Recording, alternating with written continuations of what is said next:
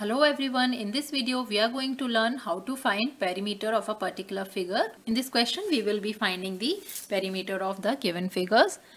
So first of all let us know what is perimeter. Perimeter is the measurement of the length around a figure. Let us consider this rectangle. If we want to make a fence around this rectangular field, we need to know how much is the measure of the length around the rectangular field. That is called the perimeter. Finding perimeter is very easy if we know the sides of the particular field. So first let us find the perimeter of this rectangular field. For finding perimeter, we need to take the sum of all the sides of the figure. So here we have rectangular field whose breadth is 5 centimeter. Then we'll move to 8 centimeter. And then again this side will be equal to the breadth which is 5 centimeter cause opposite sides are equal in rectangle and the base is 8 centimeter length.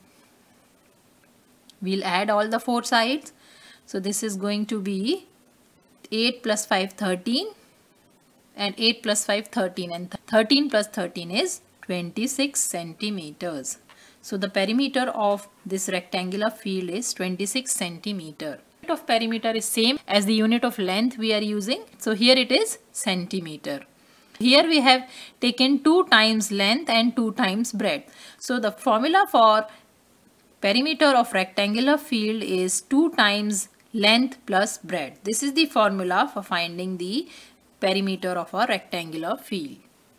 Let us now find the perimeter of the next picture which is a square. So square is a figure having all sides equal.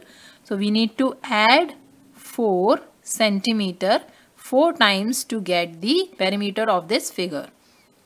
So the perimeter of this square is 16 centimeters.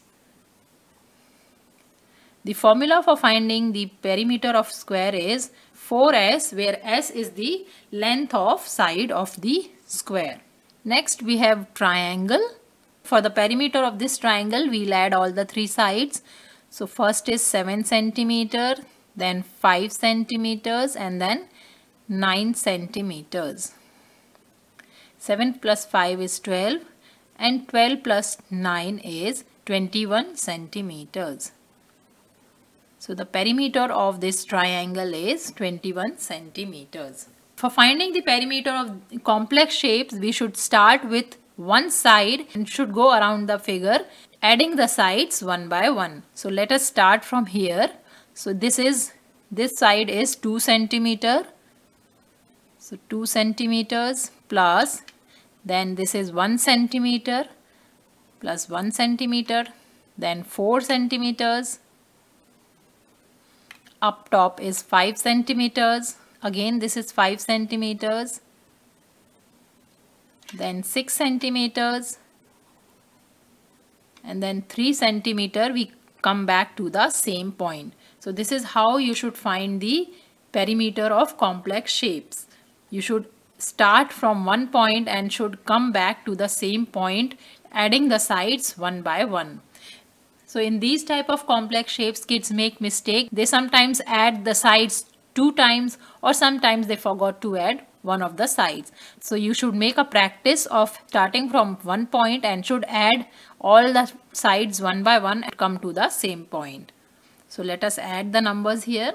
2 plus 1 is 3, 3 plus 4 7, 7 plus 5 is 12, 12 plus 5 is 17, 17 plus 3 is 20, 20 plus 6 is 26. So the perimeter of this complex shape is 26 centimeters. So this is how you can easily find the perimeter of any figure by adding the sides of that figure. I hope this video is helpful to you. If you like the video, please hit the like button and subscribe to my channel for more math videos. Thanks for watching.